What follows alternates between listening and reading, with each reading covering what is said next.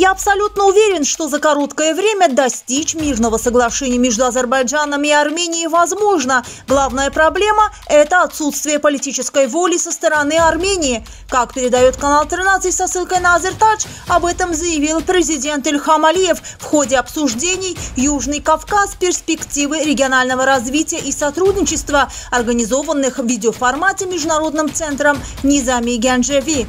Я неоднократно открыто говорил, что Азербайджан готов работать над мирным соглашением с Арменией. И, конечно, если это соглашение будет подписано, то вопросы, связанные с безопасностью, неприменением силы, принятием реалий, связанных с текущей ситуацией, станут неотъемлемой частью этого мирного документа. Что нужно сделать? Считаю, что необходимо дождаться проведения парламентских выборов в Армении, и мы понимаем, что это чувствительный период в Армении. Считаю, Считаю, что если сегодня кто-то будет говорить в Армении о мирном договоре с Азербайджаном, это не придаст этому человеку популярности. Но все же руководители страны должны думать не о своей политической карьере, а о своем государстве. С этой точки зрения мы надеемся, что после выборов у нас будет больше ясности по этому вопросу. Мирный договор, безусловно, предполагает признание территориальной целостности обеих стран, и мы готовы это сделать.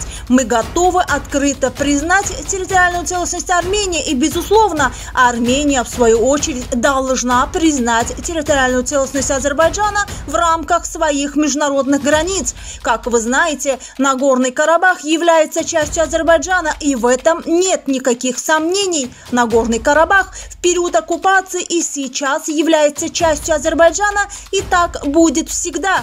Поэтому они должны отказаться от всех усилий о статусе Нагорного Карабаха. Это не тот вопрос, который является предметом обсуждения. По имеющимся у нас сейчас данным, на территории, находящейся под контролем российских миротворцев, проживают 30 тысяч человек.